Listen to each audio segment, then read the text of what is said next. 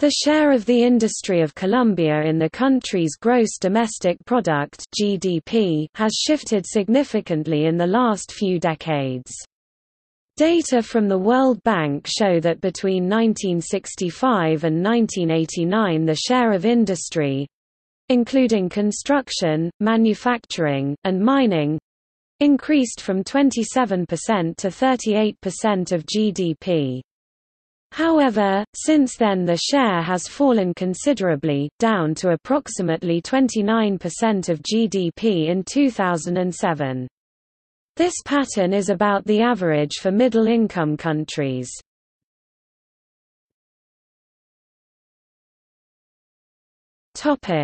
Government policy The spirit of the 1991 constitution led to reform of the Superintendency of Industry and Commerce in order to foster competition and protect consumer rights by strengthening its capacity to prevent monopolistic activities and promote competition and market access. Offences against free competition, collusion, and abuses of market power were defined, and the SIC gained the capacity to sanction individuals and firms for violations. The changes also strengthened a period of trade liberalization, increasing the degree of competition in domestic markets after a long period of import substitution industrialization and export promotion policies. Before 1990, it was common to have subsidized sources of credit for industries, mainly through the Bank of the Republic, Colombia's central bank, the Industrial Development Institute, Instituto de Fomento Industrial, or IFI, and the Export Promotion Fund Fondo para la Promoción de las Exportaciones, or ProExpo. Financial subsidies declined significantly at the end of the 1980s and the beginning of the 1990s. Although the role of the Bank of the Republic as promoter of industry transferred to the IFI in 1992, in 2003 the IFI entered into liquidation. In 2002 the Ministry of Foreign Trade merged with the Ministry of Economic Development and became the Ministry of Commerce, Industry, and Tourism. The government created ProExport Colombia, an export promotion agency, and ProExpo became the Foreign Trade Bank of Colombia Bancoldex, an export-import bank that now provides financing alternatives for Colombian producers of all sorts in commerce, industry, and tourism.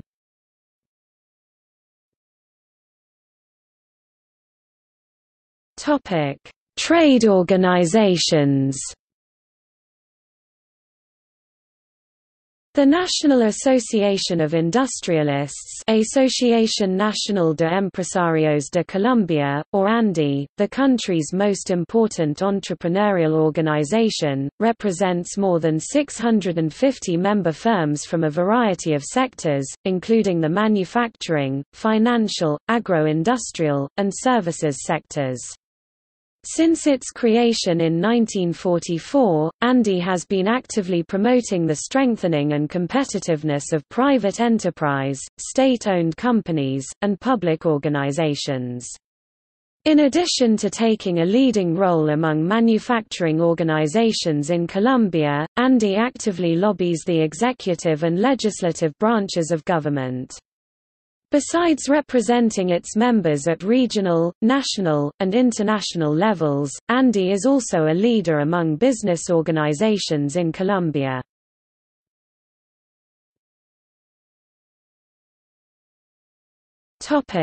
Construction Colombia's construction sector has represented between 5 and 7% of GDP and between 5 and 6% of total employment in recent decades. About 60% of the population owns homes. However, financial intermediation in the housing industry traditionally has been low by world standards. Total mortgages were 5% of GDP in 2008 and have never been more than 11% of GDP. Because of Colombia's strong rural-urban migration, more than 70% of the population lives in urban areas, but serious problems in housing quality, size, and access to public services have created a housing deficit estimated at more than 40%. For many years, governments have played a major role in the promotion of social interest housing. In order to foster construction, in 1972 the government introduced the Unit of Constant Purchasing Power Unidad de Poder Adquisitivo Constante, or UPAC.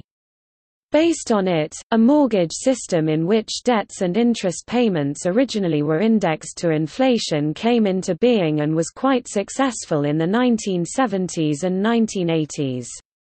The UPAC increased private savings and thus the resources available to finance mortgages, boosting the construction sector. The construction sector boomed between 1990 and 1994 because of a combination of factors, including greater competition and fewer restrictions in the financial markets, increased capital inflows, relaxed regulation and supervision of financial institutions, and a loose monetary policy.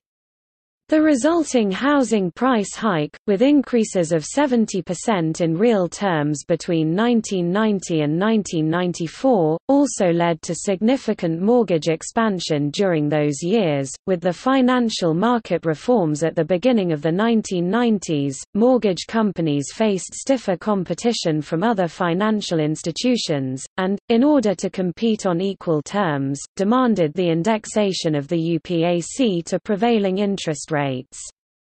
Moreover, as real interest rates increased sharply in the second half of the 1990s, among other things as a response to the Asian and Russian economic crises when the value of housing assets began falling, many mortgage holders were exposed to negative equity, eventually losing their homes. The lack of demand and the excess supply of houses precipitated a sharp fall in real prices.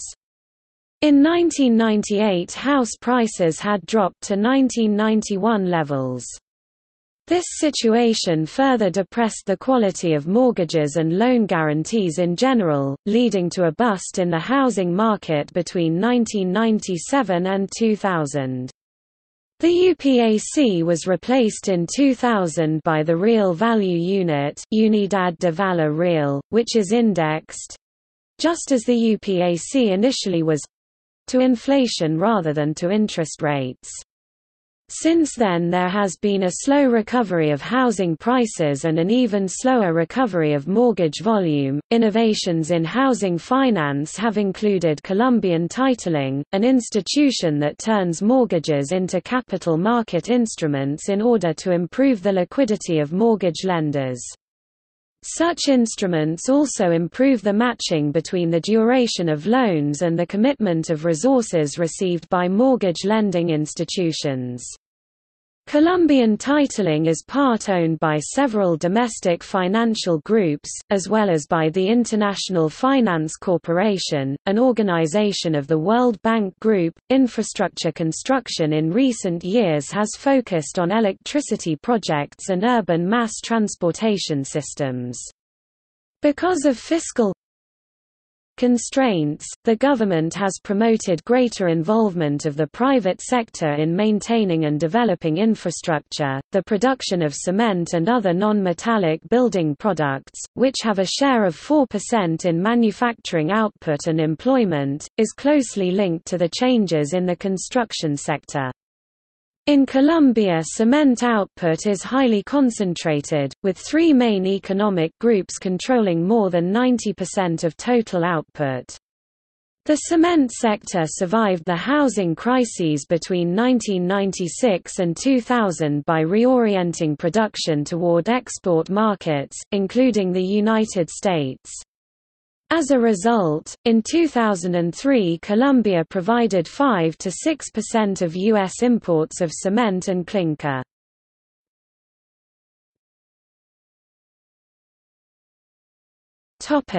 Manufacturing A key feature of Colombian manufacturing has been the high concentration of location and ownership. Some 30% of output in 2005 was produced in Bogotá, 15% in Medellín, 11% in Cali, 7% in Cartagena, and 5% in Barranquilla.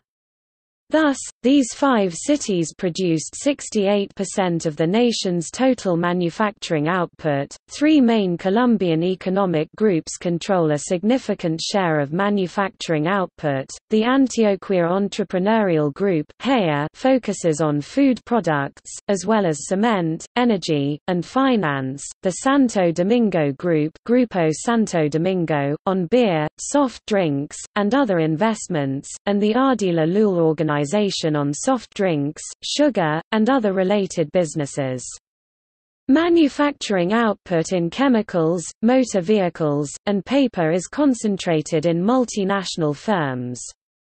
Public sector manufacturing consists mainly of oil refineries and alcoholic drinks. Colombia has three official sizes of smaller companies: micro, those with fewer than 11 workers; small, with 11 to 49 employees; and medium, with 50 to 199 employees. These smaller firms produce 28% of Colombia's output and hire 46% of the workers in Manufacturing in 2006, the most important manufacturing sector by value of output was refined petroleum products, followed by chemicals and chemical products, beverages, basic iron and steel products, and milled and prepared animal food products. In 2005 the most important manufacturing sector for employment was textiles and clothing, followed by chemicals and chemical products, plastic products, cement and other non-metallic goods, and beverages. Colombia's textile industry represented 9% of output and 23% of employment in manufactures in 2005, although the share in output has been falling steadily since 1990. Between 2001 and 2003, Colombia was a net importer of textile inputs, while it was a net exporter of apparel. The United States is the main export market for Colombian textiles and apparel, followed by the members of the Andean Community and Mexico. The sector has been one of the main beneficiaries of the Andean Trade Preference Act and the Andean Trade Promotion and Drug Eradication Act. The United States extended these trade preferences to Colombia and other Andean countries because of their continuing fight against the production and distribution of illegal drugs. Colombia's designer clothing is a segment of the industry that has received international recognition in recent years. Colombia's chemical industry is composed mainly of petrochemicals and agrochemicals. The petrochemical industry includes plastics, synthetic fibers, paint, and rubber. Petrochemical production accounted for 27% of manufacturing GDP and 10% of manufacturing employment in 2005. However, Colombia imports more than double the quantity of petrochemicals and agrochemicals that it exports. The United States is the main source of Colombian imports, while the Andean countries are the main destination of Colombian exports in this sector. Two main economic groups have had control of the largest shares in the beverages market, which in 2005 represented 9% of manufacturing GDP and 3% of employment in manufacturing. The Ardila Lülle organization is the largest producer of soft drinks and the Santo Domingo Group, of beer. The Santo Domingo Group had a controlling stake in Grupo Bavaria, the 10th largest beer company in the world, until SABMiller acquired a major interest in Bavaria in 2005, in a deal worth $7.8 billion. As a result of this merger, the Santo Domingo Group obtained a 15% share in SABMiller. In 2005, paper, paper products, lithography, and printing accounted for about 7% of Colombia's manufacturing output and 8% of manufacturing employment. Input production of pulp and paper is highly concentrated in a few firms, while book publishing is more dispersed. Colombia is a net importer of pulp and paper and has been a net exporter of printed products for many years. Vehicle assembly and vehicle components represent 2% of manufacturing GDP and employment, and those shares have been falling in recent years. Colombia has automobile assembly plants linked to Chevrolet the market leader, Renault, Mazda, and Toyota. Motorcycle assembly plants have links to Kawasaki, Yamaha, and Suzuki. Vehicle assembly represents 70% of this subsector's GDP, while vehicle components represent 30%. Since 1990, there has been greater international competition in vehicle assembly, leading to increases in the number of available vehicle brands and models. Overall, Colombia is a net importer of vehicles, mainly from Japan, the United States, and South Korea. Its main export markets are the Andean countries, especially Venezuela and Ecuador.